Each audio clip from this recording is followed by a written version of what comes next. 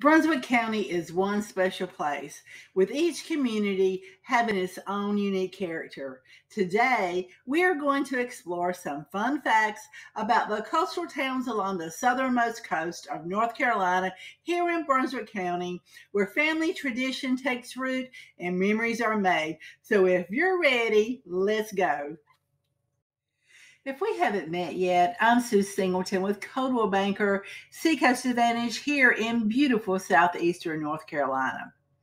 Brunswick County was named after Brunswick Town, which was established in 1726, long before the county was formed out of New Hanover County in 1764.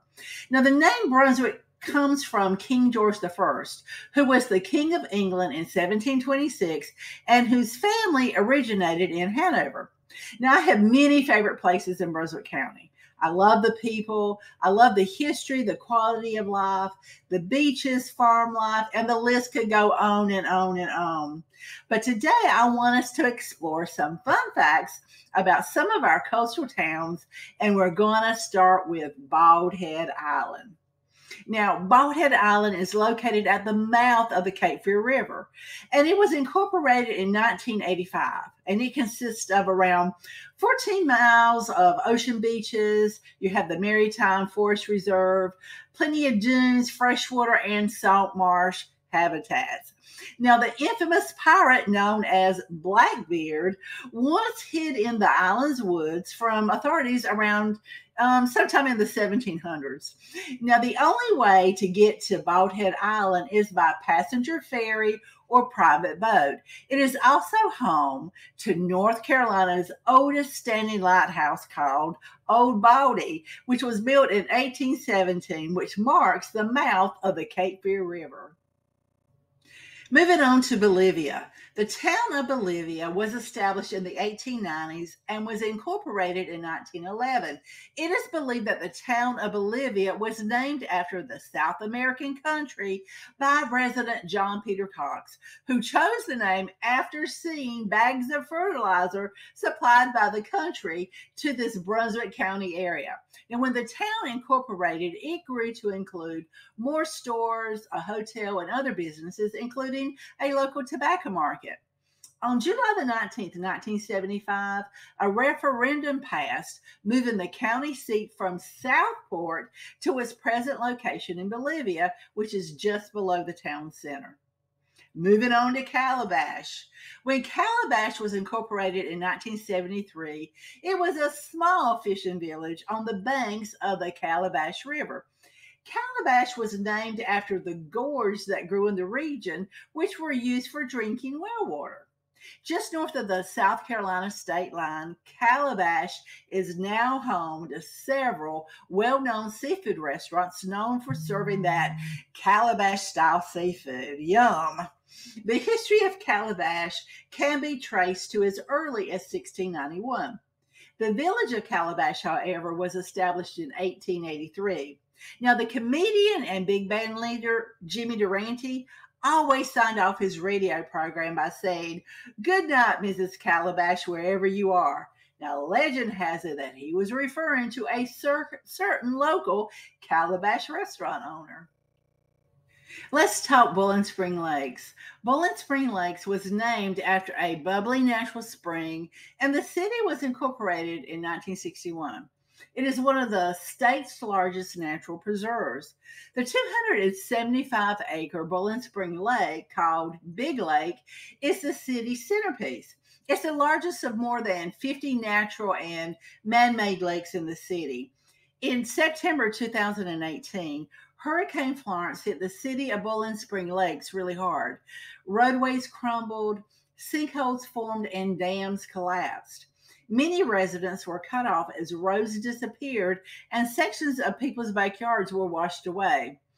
As a result of the dams being breached, the lakes drained away. All the roads and yards were repaired, and, and life much return and life pretty much returned to normal. People who used to have lakeside homes found that they were overlooking a vast field without any water.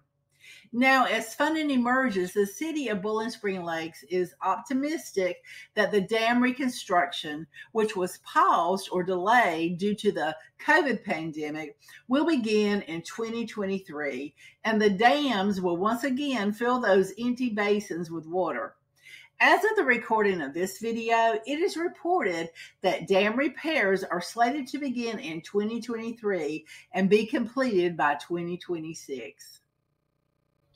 Alrighty, on to Holden Beach. Holden Beach lies between Oak Island and Ocean Isle Beach. It's incorporated in 1969 and is primarily a residential and vacation community with a small com- commercial area. Now, the Holden family developed the island. Now, according to records, Benjamin Holden purchased four mainland tracts from England in 1756 to develop a plantation, including the island.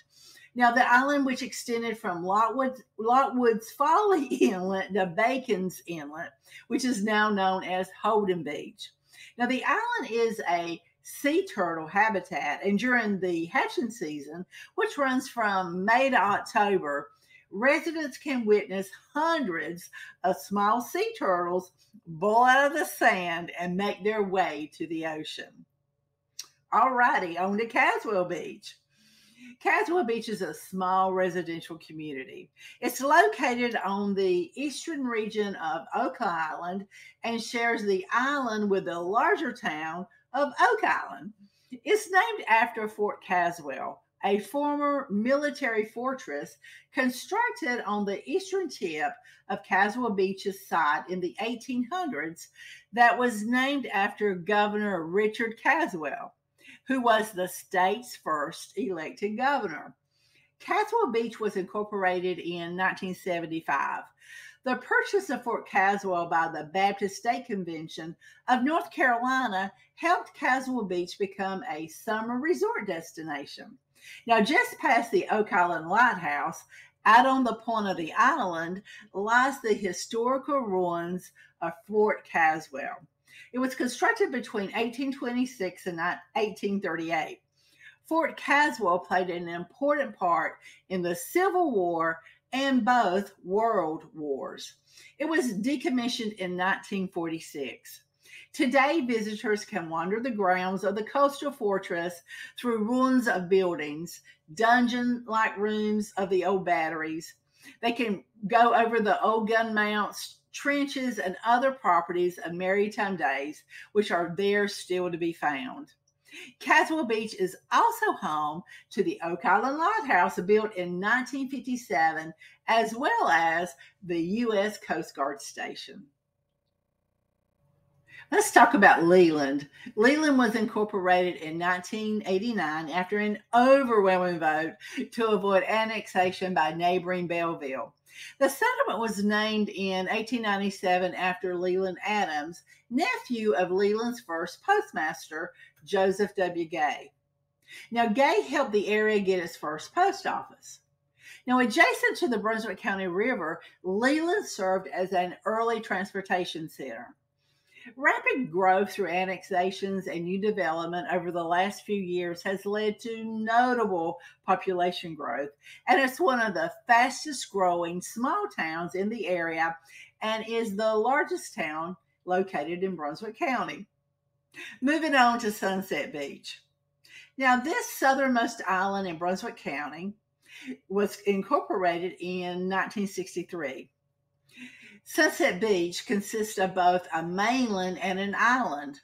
The town began in 1955, which was a year after Hurricane Hazel devastated much of the surrounding area, but left the island mostly un- un- unharmed. The town started with 30 residents in 1963. Now there's a current population of around 4,277 based on the projections of the latest U.S. Census, census estimates in 2021. On to Ocean Isle Beach. In 1953, developer Odell Williamson bought most of the island and essentially developed the modern town of Ocean Isle Beach. In 1959, Ocean Isle was chartered as a town, with Williamson becoming its first mayor. Now, some of the town's most popular tourist attractions include the Museum of Coastal Carolina and the Ocean Isle Beach Park, which features tennis courts, baseball fields, amphitheaters, and other amenities. Let's move on to Shallotte. Now, the town of Shallotte was incorporated around March 6, 1899. But now records do indicate that settlement of the area may date back to around 1750. Some believe Shallotte received its name from a traveler who crossed the river by ferry in 1734 and referred to the river as the Charlotte River. Now, it's believed that over time, the Charlotte River was mispronounced as the Shallotte River, resulting in the town name. Now, keep in mind that although Shallotte is a small town, it does offer regional shopping featuring big box stores and restaurants such as Starbucks, Belk, Home Depot, Hobby Lobby, um, Lowe's Home Improvement, Office Depot. We have the Walmart, the Marshalls, the Rack Room Shoes. It also has an Ashley Furniture and much, much more. But also keep in mind that you'll find a nice variety of mom and pop restaurants and stores as well. Another favorite community is St. James. Founded in 1999, St. James's name is the short version for St. James Plantation, the residential development from which the town was born. Located just a few miles from Southport, it is primarily a residential town community, which started as a private gated community in 1991 and became a town in 1999.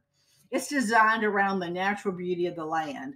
The community offers a multitude of resort style amenities, including a private beach club, four signature golf clubs, state of the art fitness facilities, and a full service marina and marketplace.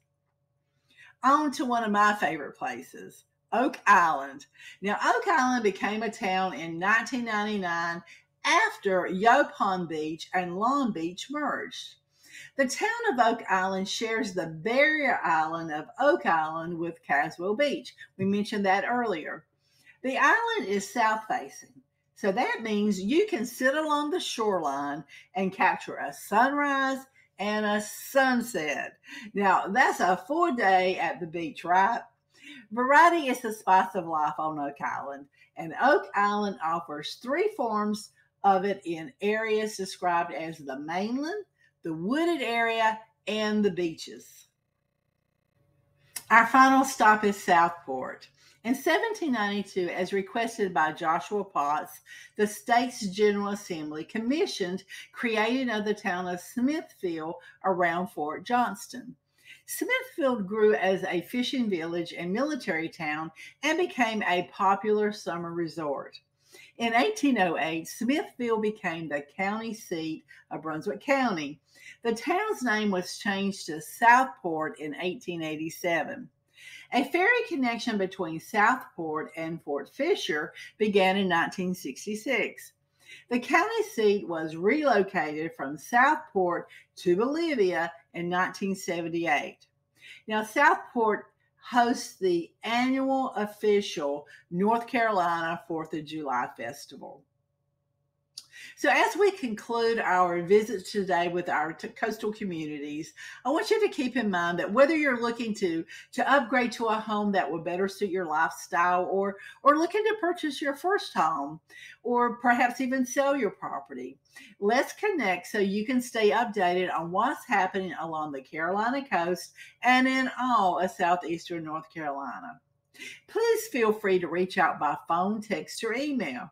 And listen, if you haven't already, I would appreciate you hitting the subscribe button below, like and share this video, and leave me a comment. I'd love to hear from you.